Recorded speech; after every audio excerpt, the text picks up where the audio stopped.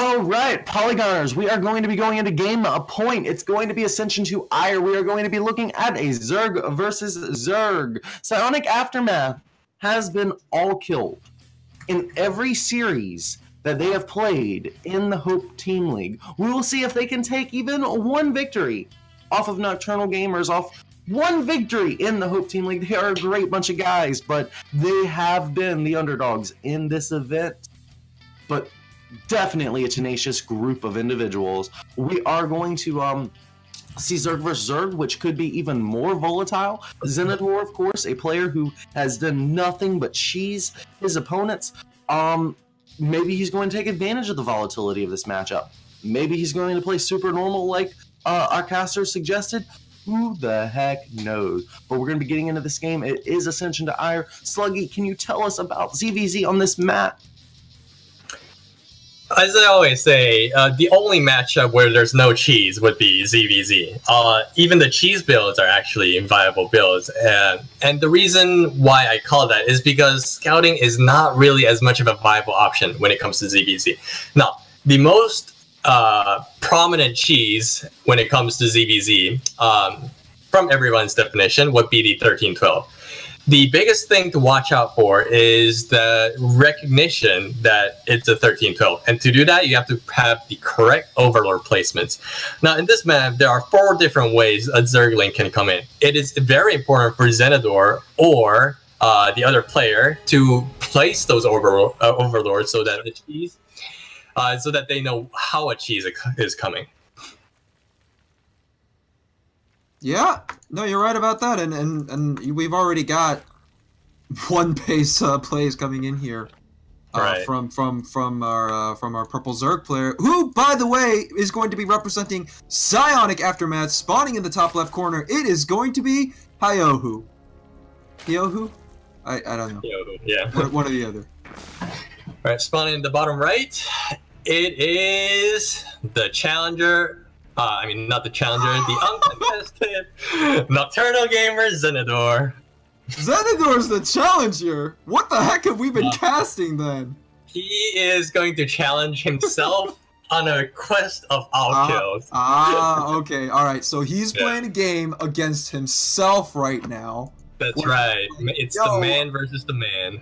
Can I do it? You know, I I, I want to comment on something. You said it'd be like a, a real mind game play if he decides to play a macro game instead of doing a cheese. That's right. What's this fast expansion here from Zenedor, Sluggy? Is he doing okay, exactly what you said um, he would? Right. I want to add it up. Uh, I mean, I want to follow it up. So what Hiohu went for is he went for uh, 13-12. And the Overlord see it, so he knows he's going for a cheese. Now, the queens are being pulled back to the main base, but actually, gosh damn, Zenedor made a spine crawler already. Now, in a macro versus macro, this is such a huge disadvantage, but it seems that with the preparations, like almost as if he sees the future, he can. Oh, here we go! Lings are gonna run in here, and the Bailey's get a nice little connect on Hiohu's, uh, on Zenedor's Lings. More Lings are gonna die. The one queen goes down, the second queen hasn't gone down yet. Spinecrawler down to nearly half health, but does Hiohu have enough to be able to take down everything. The Spinecrawler does go down. And the second queen is at red health. Will it go down? No, it does stay alive as Zenedor is able to fight off this rush. And I think Hiohu is in a terrible spot now. The hatchery is still up and running here for Zenedor, which means more larvae and more lings. Sluggy, is this game over? This is looking pretty damn devastating. if there's no big uh, mess ups, then Zenedor is probably going to take this game easily. Uh, one spine crawler, it might be okay, and he recognizes that it's already a lost cause. GG, the game has been called. Oh no. boy, I the GG is called, and uh, Nocturnal Gamers Zenedor. This is a guy to uh, this is a guy to look out for.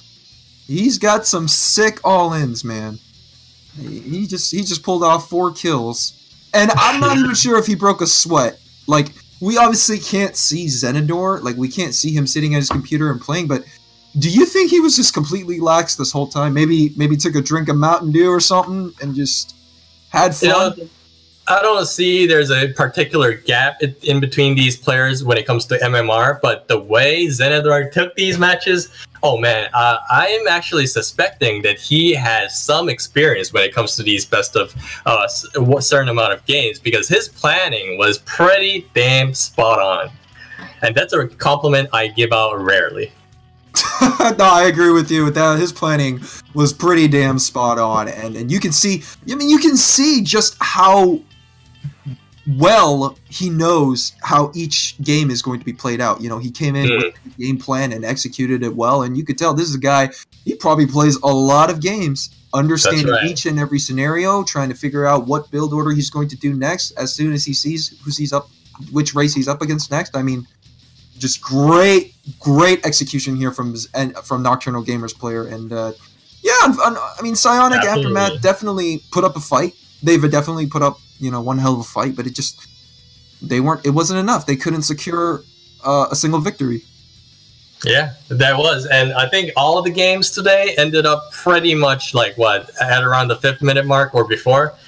Uh, it was yeah, smoothly was... for like four games straight on. I gotta hand it to him. Yeah.